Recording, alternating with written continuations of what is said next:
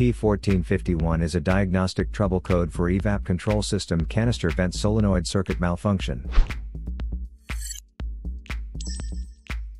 Under this circumstance, stop driving and repair your vehicle immediately. It indicates that the PCM has detected an electrical failure within the canister vent solenoid circuit. If you want to fix car problems, check out the videos here.